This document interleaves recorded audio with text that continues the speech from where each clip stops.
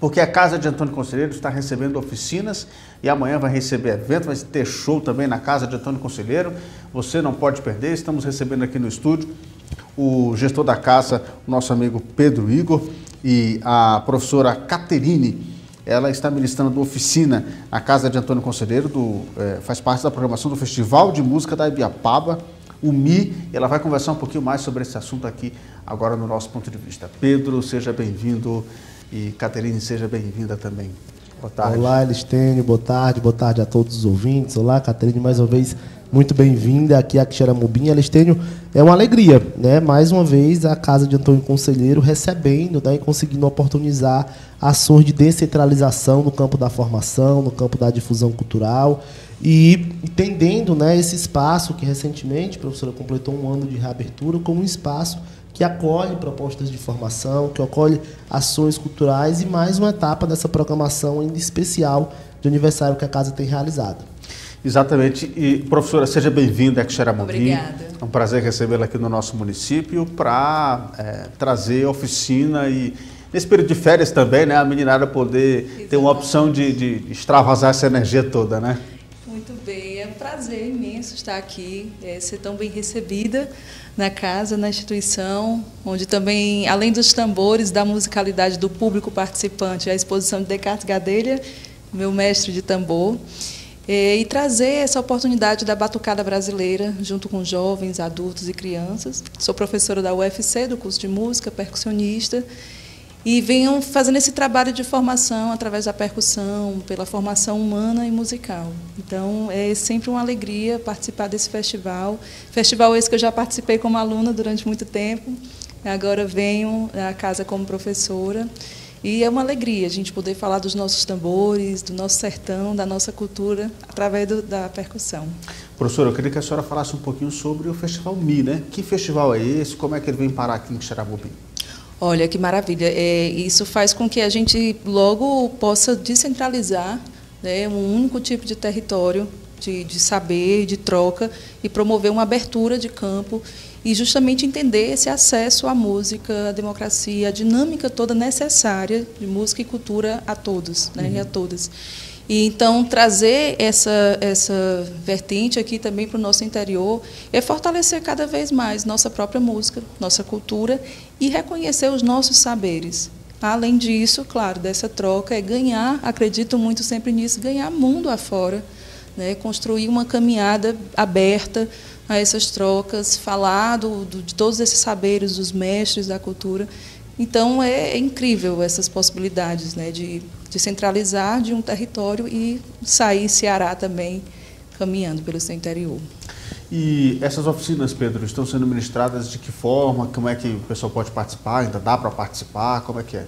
Nós tivemos agora pela manhã né, a primeira oficina da professora Caterine e amanhã, quem quiser participar, basta procurar a Casa de Antônio Conselheiro. A oficina vai acontecer no seu segundo dia, de 9 às 11 da manhã. Então, está todo mundo convidado. Quem tiver interesse de participar, a casa está de portas abertas para receber esses alunos que queiram, como você falou, extravasar um pouco aí da energia nesse período Isso. de férias, mas é aberto, inclusive, para todas as idades, a partir de 8 anos, as pessoas que queiram participar poderão é, estar presentes e participando, tendo a oportunidade de, através do Festival Mi, é, aprender um pouco mais com a professora Caterina. É, paga alguma coisa não?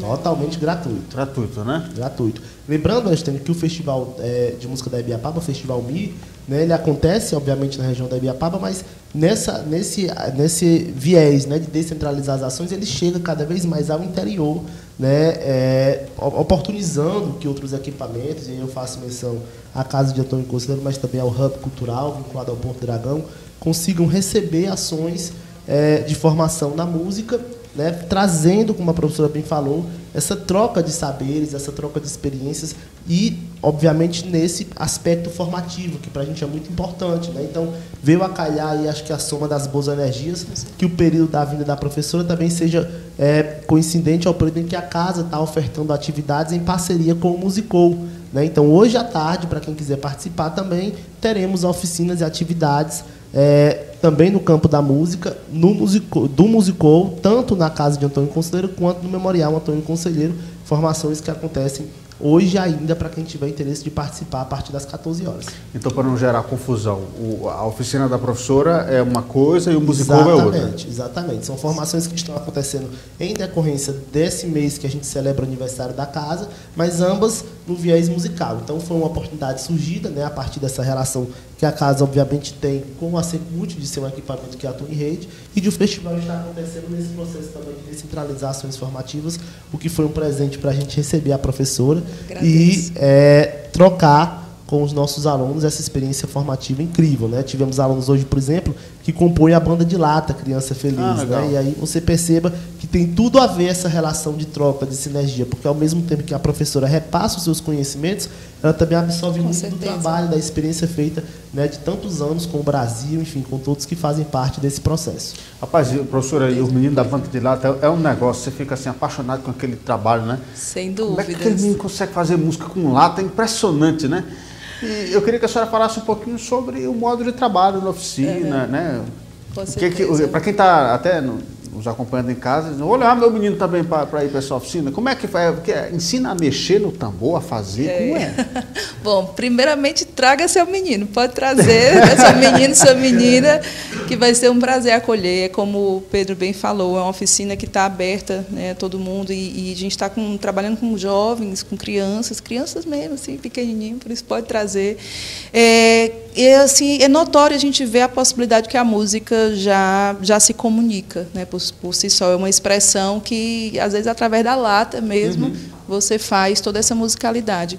Então, nesse trabalho que eu proponho, junto com, com os conhecimentos que a turma também traz, é basicamente a gente botar a mão no tambor através do, da oralidade, a repetição dos contos das histórias, da musicalidade das palavras, da corporalidade, que é a movimentação com o corpo, com a dança e com o improviso, para justamente celebrar essa comunhão dos saberes com a criatividade e a musicalidade de cada um.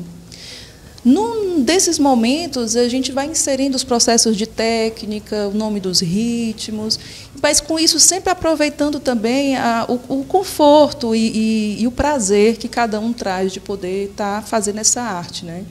Então, o meu trabalho vai mexer mais ou menos por isso, entre corporalidade, oralidade e improviso. E aí a gente junta, faz uma integração e fala através dos tambores, né? Através Mas, professora, eu não tenho nenhuma habilidade com isso, não sei mexer, não sei nem como é que pega num tambor. Tem algum problema de participar? De não. jeito nenhum. O único problema é se você ficar em casa. certo? Não fique em casa. Venha. Inclusive, assim, essa dinâmica, né, essa metodologia. É, é, trabalhar com o que você tem, com o que você quer. Então, é uma construção na hora, é um despertar também, porque às vezes a pessoa até já tem uma habilidade, mas às vezes não teve a oportunidade. Então, assim, é, não tem problema nenhum. É, se não souber tocar, ótimo, você vai estar no lugar certo. Né?